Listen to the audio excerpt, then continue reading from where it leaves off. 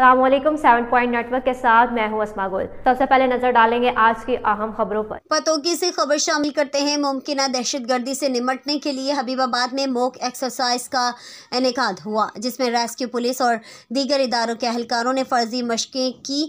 ہمارے نمائندے چودھری منان بھٹی کی رپورٹ کے مطابق ممکنہ دہشت گردی سے نمٹنے کے لیے حبیب آباد میں موک ایکسرسائز کا انعقاد ہوا، جس میں ریسکیو پولیس اور دیگر اداروں کے اہلکاروں نے فرض مشقیں کی گئی۔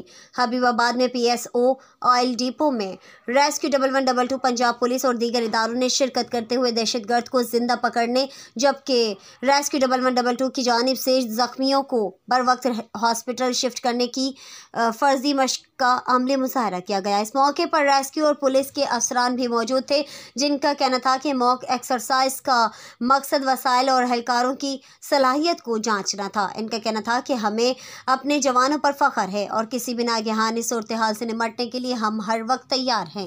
خبروں میں فی الوقت کے لیے اتنا ہی، مزید تفصیلات کے لیے دیکھتے رہیے سیون پوائنٹ نیٹ